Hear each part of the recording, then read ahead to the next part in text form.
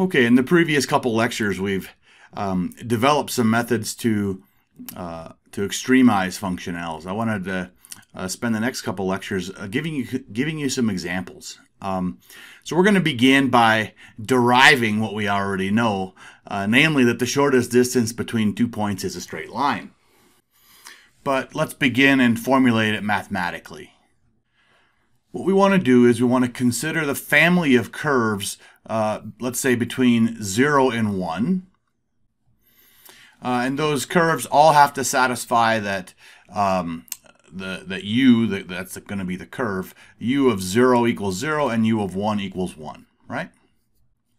So what might that look like? So let me just draw the family of curves that we're considering. So this is going to be u as a function of x so here's u of x.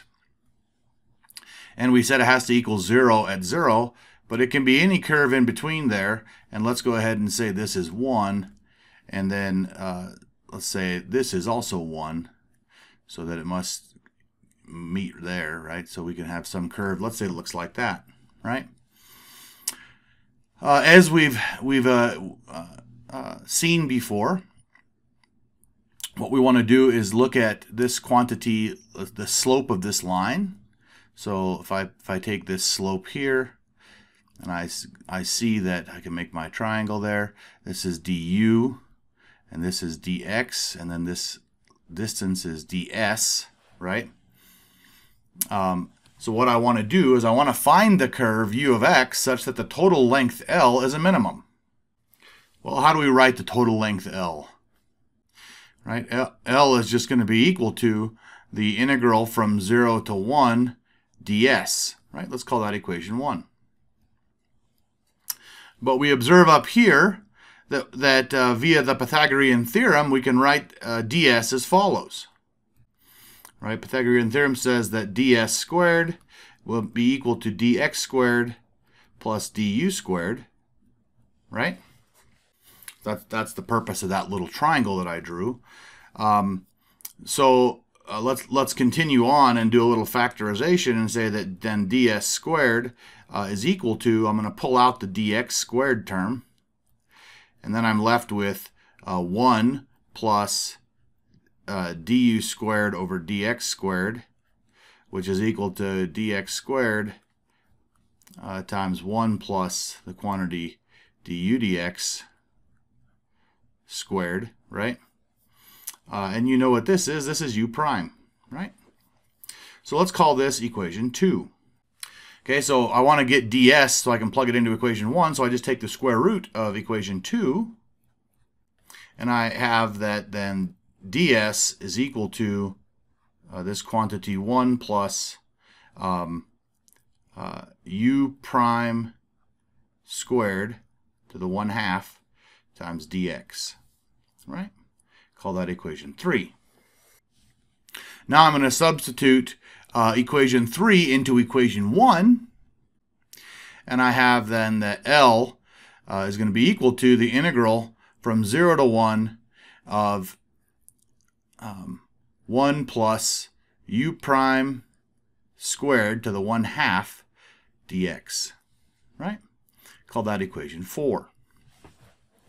So what have I done? I've put the problem uh, into a form such that uh, what I need to solve is uh, a functional, right? I need to extremize this functional that's given by L, right? So why did I do that? Why did I put it in this form? Because we already know what equations have to be uh, satisfied in order for that to occur, right? So I want to observe that L now is in the form of the functional that we talked about in the previous lectures right? And so we could maybe more properly say this is L of u, if we want to write it in the same form, is equal to the integral from 0 to 1 of some function, which could be a function of x, u, and u prime, right? dx. Uh, let's call that equation 5. Where in this case, uh, we can write that f uh, is going to be just equal to 1 plus u prime squared to the 1 half, right? So that's, that's f in this case. Call that equation 6. Okay, What do we know? We know from our previous work that any extremizing function u must satisfy the Euler-Lagrange equations for the functional. And we stated that those Euler-Lagrange equations were as follows. We said that was d by dx uh, of the partial of f with respect to u prime minus del f del u equals 0, right? That's the Euler-Lagrange equation. Call that equation 7. So we, we look at equation 6, and we can see that there is no explicit dependence on u, so del f del u goes to 0. And so in that case, the Euler-Lagrange equation becomes just d by dx of the partial of f with respect to u prime is equal to 0. Call that equation 8. Okay, so now let's go about solving this. Okay, so what do we know? Well, if the derivative of something equals 0, then that something uh, must be a constant, right? That's easy. So we can say integrating equation 8 uh, gives the following. It says that partial f with respect to u prime uh, is equal to, we'll call it c1. And now let's go ahead and substitute in equation 6 into there. So what that means is that the partial with respect to u prime of the quantity 1 plus uh, u prime squared to the 1 half, right? The partial of that with respect to u prime is equal to c1. Call that equation 9. So now let's go ahead and carry out the differentiation. Uh, in equation 9 gives the following. Well, we have, let's say, partial with respect to u prime of 1 plus uh, u prime squared to the 1 half. We just This is a series of chain rules. So this is going to equal uh, 1 half times 1 plus u prime, the quantity squared, now to the negative 1 half, right, times uh, 2 uh, u prime. Now in this case, my 2 is going to cancel with my 1 half, and I'm going to be left with, I'm going to go ahead and put this negative power in the denominator, I'm left with u prime over 1 plus u prime, the quantity squared, to the 1 half, uh, and that whole thing equals C1 according to equation 9. Let's call that equation 10. So now what we want to do is solve for u prime in terms of c1.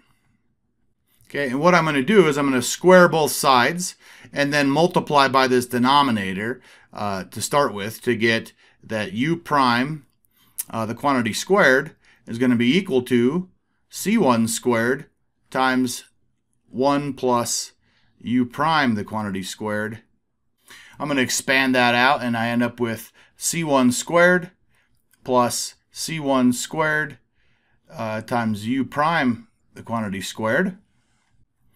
Okay, continuing on, I'm going to subtract off this quantity and move it to the other side so I can get my u primes on the same side and factor them out.